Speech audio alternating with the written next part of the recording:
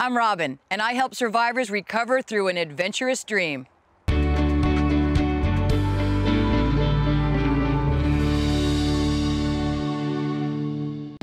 I'm Robyn Benincasa, and I'm the founder and minister of dreams for the Project Athena Foundation.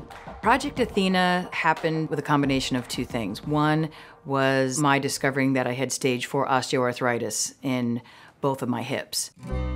I had come from this ultra endurance athletic background, and now I didn't even know whether I was going to be able to run again. In the process of mentally trying to work through that, I was really inspired by a good friend of mine, Louise Cooper, who was a breast cancer survivor. The way that she got through all of her chemo and radiation was thinking about what her next adventure was. I wasn't going to allow the cancer to take my life. Each morning I'd get up and what could I do today? If it meant that I could only walk 50 yards, that was great. I still had the fire in my belly to do something. And so taking a cue from her, I thought, you know what, that worked for her. I know that's going to work for me. And I just kind of had this moment of why don't we do that for other women and help them live an adventurous dream as part of their recovery.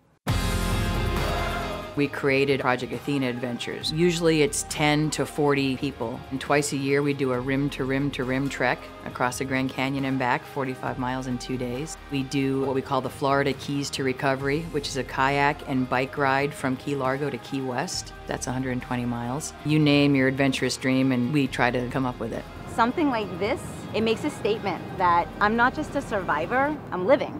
I've learned you never really know how strong you are until you have to be, just through cancer and then paddling 10 miles or running 10 miles. The other day I rode my road bike 23 miles up the coast. Never done that before, and when I finished, I felt like a rock star. The neatest thing about it was that I wasn't doing it alone. And um, from this, I've gained a family. I've had sisters that I've never had before, and I get to adventure with them. During the adventures, there's a lot of moments where you're questioning whether you can keep going, and I see that in our Athena's faces. Inside, I'm saying, just wait. When you take that next step that you didn't think you could take, and then it's a hundred steps you didn't think you could take. And when you're so far over that line of what you ever understood you were capable of, all of a sudden they realize, I can do anything. And that's when I just watch the group and I just get verklempt. Like to watch them really see themselves, like and how amazing they are. That's when I'm like, my work here is done.